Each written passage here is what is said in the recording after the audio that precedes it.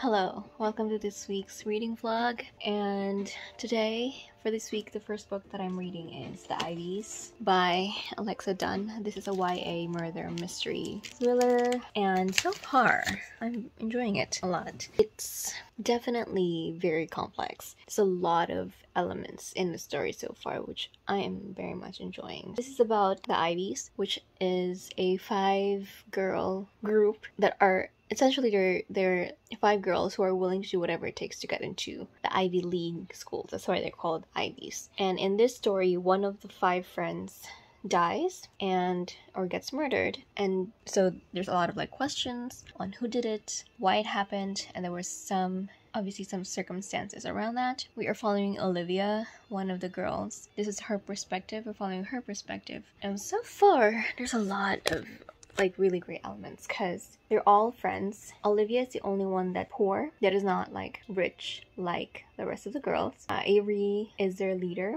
and she pretty much is the leader of the pack. And there's just a lot of secrets being revealed right now and a lot of secrets and mysteries and questions being brought up. And yeah, it's really interesting because each of the girls have different kind of levels of viciousness when it comes to taking down their opponents and getting what they want. And Olivia, you could tell right from the beginning, she's the least vicious because for one, she doesn't have the resources to, you know, blackmail, to bribe, whatever. She's smart, but she really works hard for that. But she says but even she admits that she's not the smartest um, person and she was even surprised to be part of the ivies so that's also one of the questions that i have because based from her she is in a way the least useful in the group because they all kind of help each other achieve their goals because they all and avery has assigned each of them a different school. Her school was supposed to be penn but she's always wanted to go to harvard. Avery's school is harvard. So they all help each other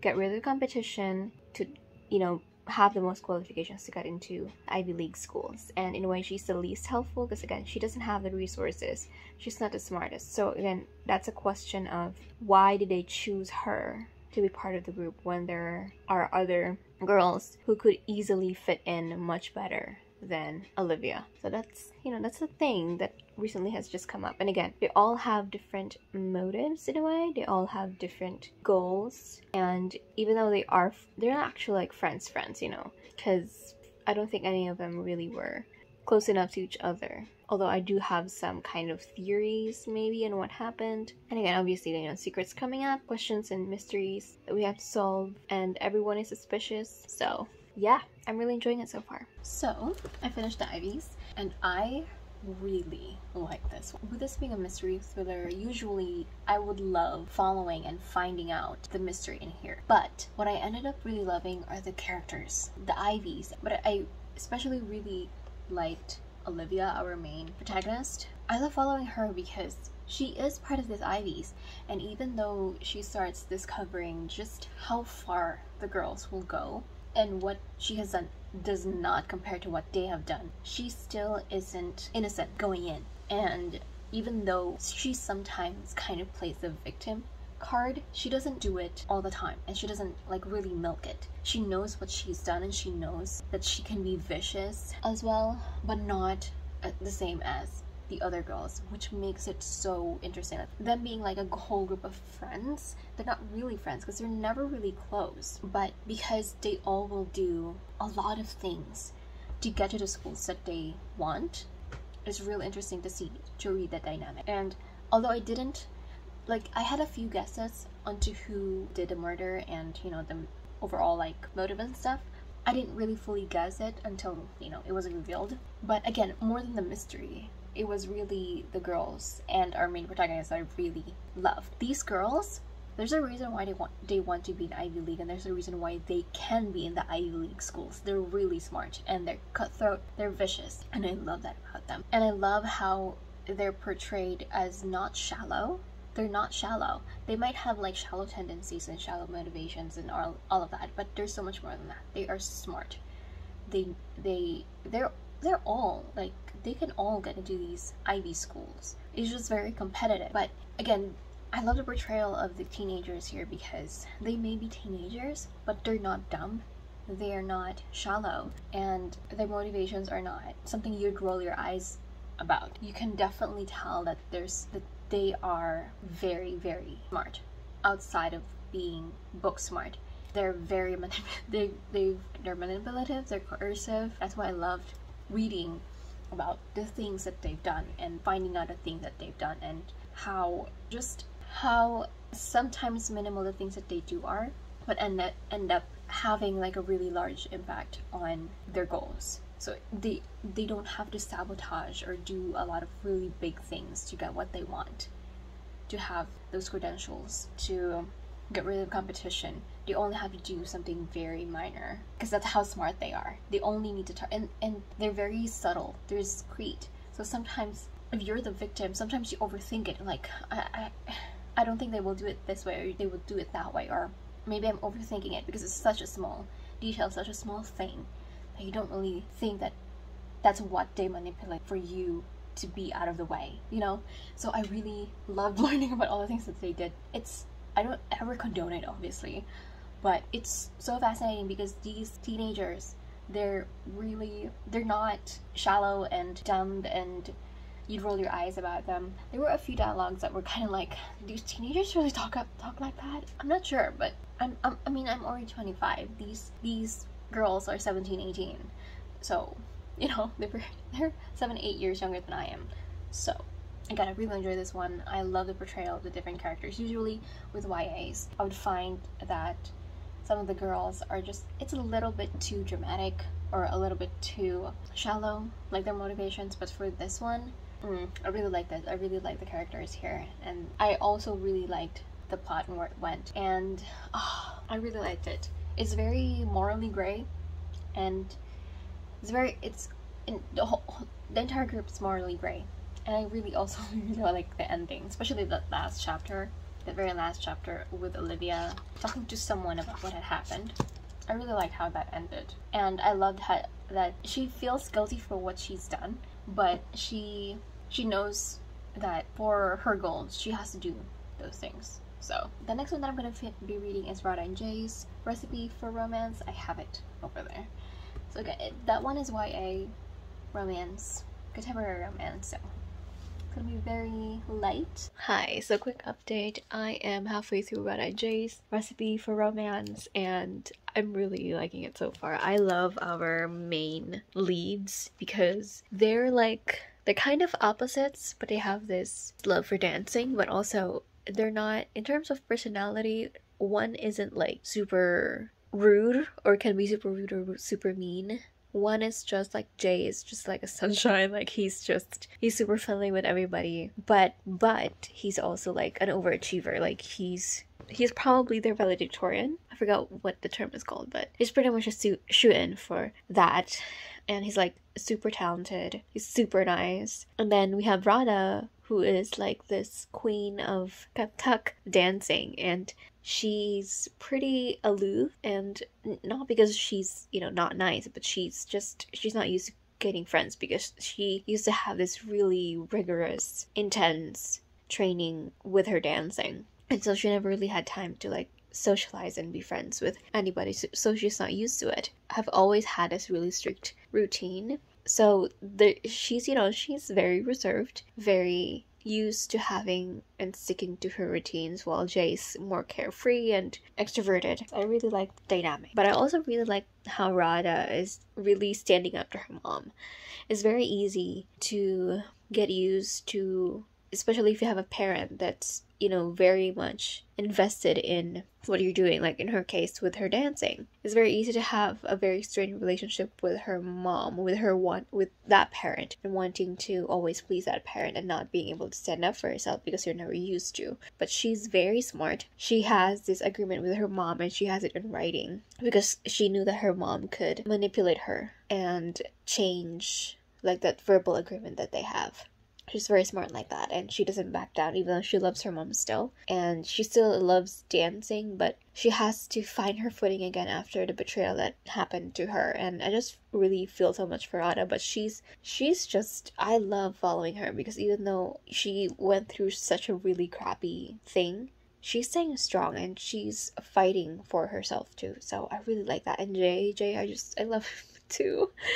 He's he's such a great son to his family that he's willing to give up his future so that he doesn't inconvenience or doesn't hurt his family and keep on helping his family.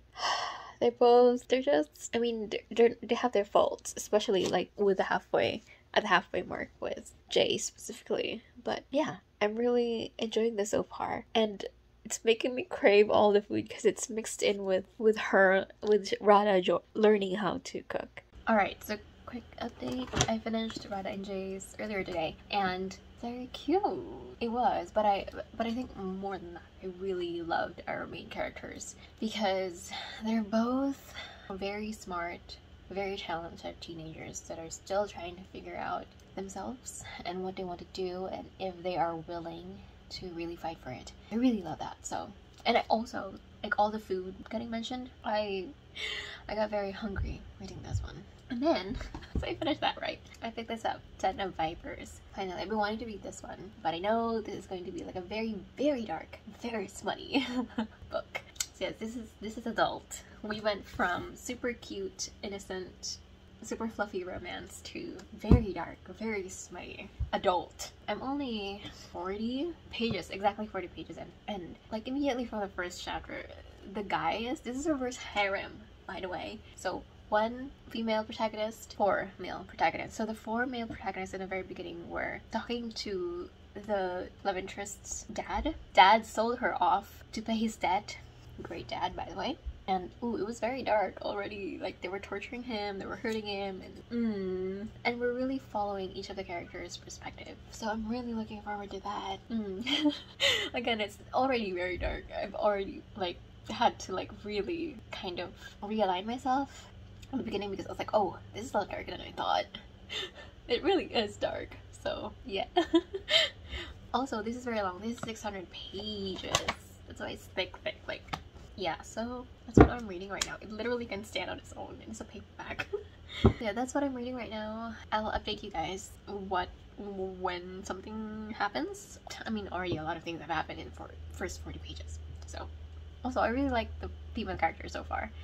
She's very badass. Like, not not like oh yeah, she's she's pretty snarky and can stand up for herself. It's like she literally beat up four guys in like the second chapter. So so I haven't really read that far in the last time I updated, but one thing that I will say about this so far is that the writing feels a little disjointed. Like it doesn't flow as well as you would expect, or as as well as other books. It doesn't flow very well, and she definitely has like a favorite way of writing certain things. Like it's you can see it in the blur with the back, or like the summary of the back. For example, the vipers, I'm going to make them regret the day they took me. This girl, she bites too. She has a few of those, like she asks a question and then in that format, and then in like in each chapter she has that kind of thing that I noticed. And again, yeah, it's like the writing, and I think I've seen a few typos already. That's just me being like really nitpicky, but I can't really because I think this is like an indie published, so she doesn't have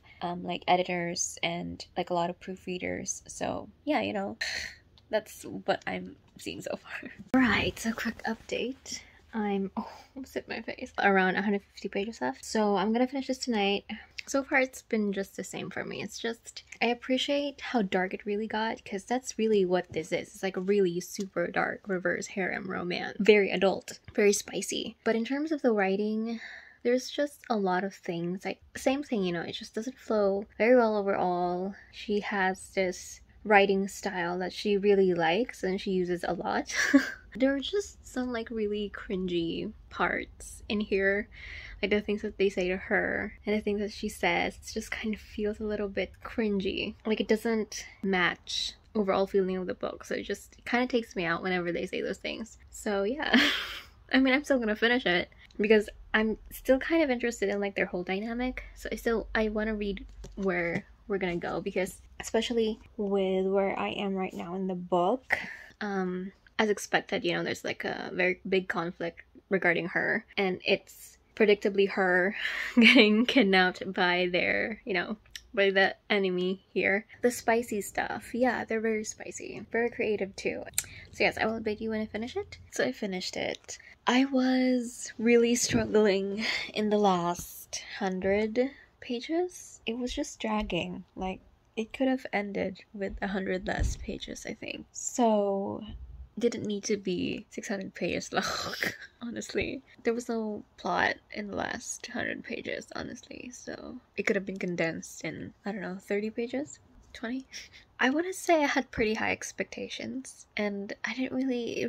It, yeah, I thought it was gonna be more well written. I thought it was gonna have like really good plot, although it's really is just a spicy book. Like it's it's just smut, and even the Morning Glory Milking Farm was better than this one, and that one's like 200, 300, less than 300 pages long. I literally read the entire thing in two hours, but that one's way better than this because I really appreciated the relationship that the two people had, even though it is also a very spicy book. It's mostly spice. And this one is, I mean, it's reverse harem. And although I did like the characters, just entire. It, it keeps taking me out of the story because of the writing. I couldn't even appreciate the smut because of the other things. So I mean, I still finished it. So I will be going to the library tomorrow to pick up more books because I don't have any more books to read and I have 11 more days for this month and I cannot not read anything. So yeah, I will be going to the library early tomorrow. Last update for this week. I went to the library earlier today and I have three books, three library books that I'm going to be reading for next. I was going to finish Honey Girl today, but I don't know, I was tired and I think I had way too much sugar that I crashed. and I had a few things to do in the morning. Anyway, so I'm 170 pages in, more than a little bit halfway through. So far, I'm okay. I like Grace. She's described as a Virgo. I'm a Virgo myself too, and I get the having plans and sticking to plans, having a routine, having goals and achieving those goals, etc. And I also understand the pressure that she has from her father who wants her to take something else, but she decides to.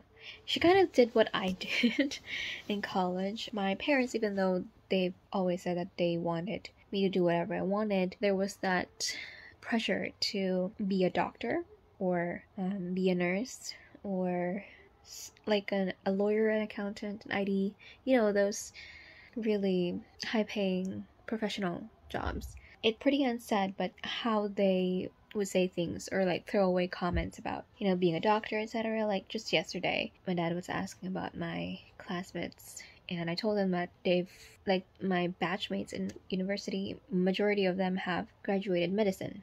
And he said, You could have been a doctor now too. It's like one of those throwaway comments where they do want me to take those things, but they never want to directly pressure me. So, what I did is to take psychology, even though it's not directly tied to medicine, it's also a prerequisite to medicine. A lot of my friends, again, took psychology and went to med school. I didn't, but it's like the closest thing I could get, and it was the closest thing that I was actually interested in too. So it's not physician kind of doctor, but I could be a doctor if I wanted to. It's still in that like similar, still in that similar kind of um, area, I guess, or like it's close enough. And I did this, I did that same thing because even though I don't want to be a doctor, I also don't want to be a disappointment. So I want to do something I actually do enjoy, even though it's not what I want to do. Although for Grace, she is very much interested. She, that is what she wants to do, but then she starts questioning. Already 29, she has her PhD, but things are just not falling into place like she expected and like what you know she thought will be after all the plans that she's had for years and so she you know she goes to las vegas and gets married to this girl and so i understand that her struggles with that and you know with expectations from especially her dad and wanting to do what is right and all that. I understand. Yuki i feel like even though we're we're already halfway through i feel like we're not really learning about her. We're not really getting to know her. It's very surface level or it's still getting to know kind of stage. So i just i i need a little bit more um, to get into this story but i definitely love the friendships that Grace and Yuki have. They have really great friendship as a for- support system in their fr- in her in their friends. So that's my very last update. I think I had a very good um, reading week as well. A lot of fun earlier this week. Den of Vipers was it was a ride, and I kind of wish I didn't read it. It's kind of a FOMO read anyway, so I can't like regret it because read it because I didn't want to like because of the fear of missing out. So you know, because I did that to myself. So, I'll see you next week. Next is going to be my birthday week, and we do have plans. Well, my birthday falls in the middle of the week and I don't want to celebrate in the middle of the week in the middle of like doing it. I want to really enjoy it. So we will be celebrating on a Saturday. I can't believe I'm turning 25. I can't I anyway. that's it for this week. I will see you guys next week.